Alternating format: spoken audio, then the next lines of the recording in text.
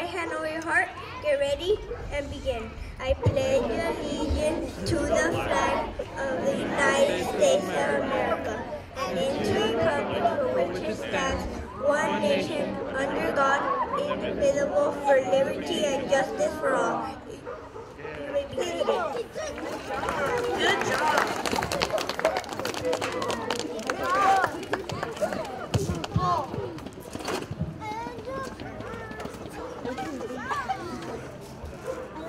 If you didn't get a program, I believe we have some here on the table, so we have programs over here. I want to introduce uh, Juan Lara, Community Services Supervisor for Area 4. He's going to give a brief history of the project because the rest of the speakers actually have a lot of other history they want to share. Hello, buenas tardes, ¿cómo están? How's everybody doing? Okay, well, really quick, we're just going to cover a little bit of history on uh, uh, the project that led to us having this new playground in place here.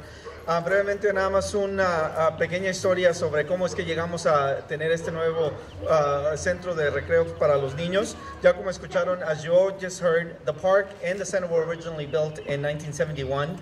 So it's been in this community for a very, very long time, and we're very happy to add uh, the playground now.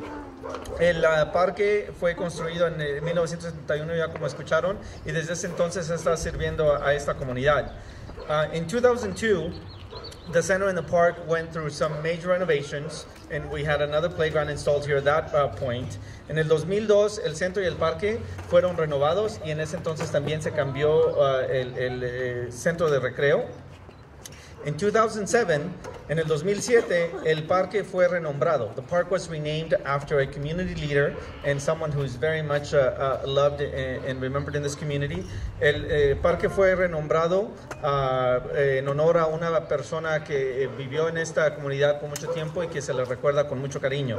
So as you all know, como ya todos saben, el parque ahora se eh, llama Chepas Park. El parque, you know, uh, the, the park is now known as Chepas Park. Now, let's uh, move uh, 10 years after that to last year, 2017, when uh, the California Parks and Recreation Society offered an opportunity to apply for grants, you know, focused on healthy play uh, opportunities. And thanks to the efforts of Ms. America Robledo, who's here in the back. America, say hello. Um, she applied for the grant and we were successful in obtaining it. Um, diez años después de que el parque fue renombrado, se nos presentó la oportunidad de aplicar para una beca para adquirir un uh, nuevo uh, centro de recreo para los niños. Y gracias a los esfuerzos de la uh, señora América Robledo, que aplicó para eh, este eh, beca, eh, tuvimos éxito en obtener los fondos. So now this brings us to the beginning of this year. Y empezando ahora a principios de este año, um, we were able to then have uh, the equipment delivered. Nos trajeron todo el equipo y uh, ya con el esfuerzo de el equipo de mantenimiento de la ciudad, through the efforts of general maintenance staff, and I believe Wayne is here. So Wayne, okay, and Mr. Owen and the rest of his crew. So if we can also give them a round of applause and thank them for their efforts because this was a project that was made possible not only through their expertise, but also through the uh, efforts of uh, the company that we purchased the equipment from, and of course, the, the residents, and, you know, who also were very much involved in, in, the process. So agradecemos a todos los que estuvieron involucrados en la construcción del nuevo centro de uh, recreo para los niños.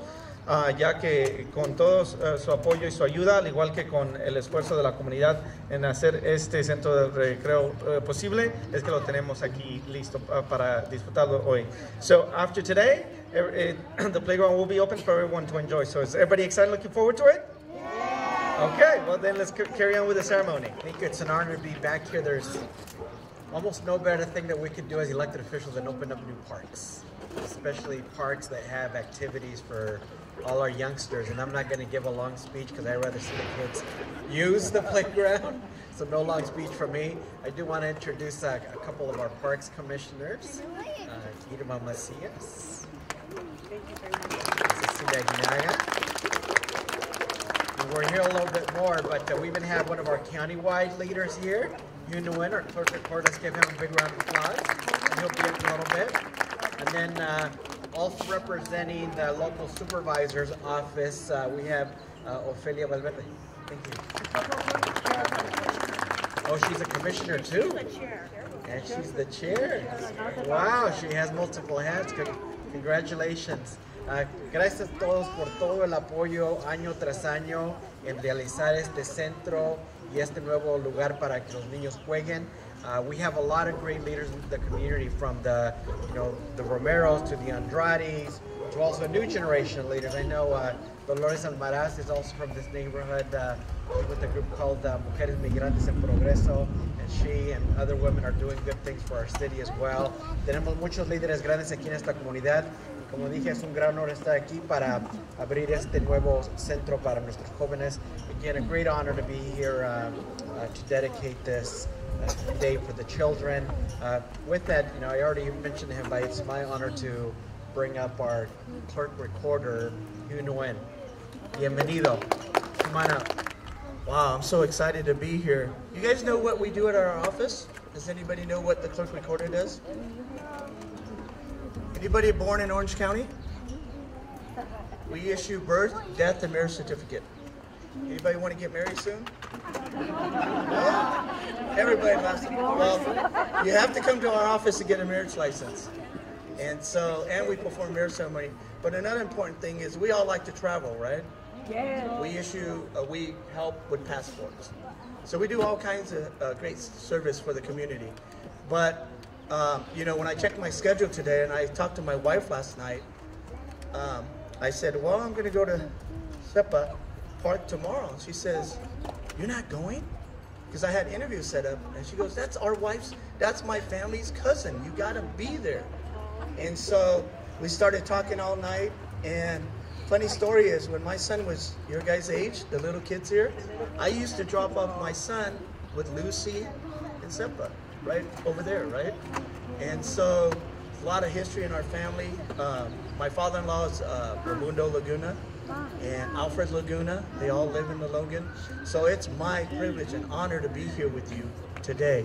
And so I have two certificates that I would like to present. First one is to Josephine Laguna, Andrea. Uh, so whoever wants to, so. All right, welcome. So in honor of La Reina de la Logan, or the Queen of Logan, for her community activists and her effort in preserving the character of the Logan neighborhood. Chepas Park will be a place where the community can come to live a happier, more active, and healthier life. It would also serve as a place to honor the neighborhood legacy. So congratulations to your mom. Representative Jose, you want to come up? Congratulations on your ribbon cutting ceremony for Chepa Park. We look forward to seeing this great new playground, providing the community and the opportunity to live a happier, active, and healthy lifestyle. So thank you to the city of Santa Ana. Keep up the good work, and all your commissioner, you guys do an amazing job. Jose, and this is for you. Thank you so much. He's so great. I, I love coming out to these, uh, the councilman is right, we need more green space and it's going to make our uh, our kids can want to come out and play and get more active and healthy and it also beautifies the area and I think that Chepa would be very very proud. I know you guys are proud of your mom and this is just a wonderful wonderful legacy. Um, on behalf of supervisor Andrew Do I'm going to read uh, what we put on the uh, certificate. Congratulations on the new playground equipment at Chepa's Park. Your project truly adds to the quality of life in Santa Ana and best wishes on all future endeavors. And this is for the city, and we also have the family one that I will be bringing to you later. Um, but this is beautiful, so they can hang it up at the city, so they always remember what we did here in Logan. Hello, everybody. Um, I left. I, I, actually left these little uh, pamphlets right there in the table, so you can have all the information that what we have.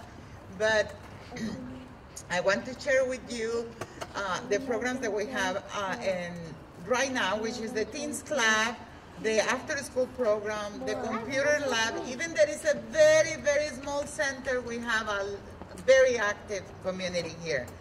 Uh, the Family Pride Club, and upcoming next Monday, we are going to start the Pride Fitness, which is a program for the ladies at night to come and do exercise and it's going to be Mondays and Wednesdays.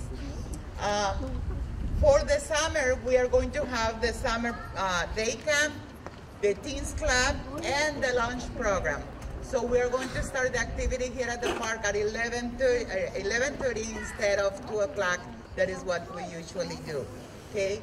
Uh, of course, with the new playground, we are going to have a much fuller park. So I know the community is very happy, and and the, they bring in the, the kids to enjoy it already. I was talking with one of the members of the community uh, a while ago, and he was telling me how he's bringing his um, grandchildren every day. So that's what we expect here in the community. All the, your children to come and, and your grandchildren to be at the park. Ready? Ready? Count that out loud. Ready? Count.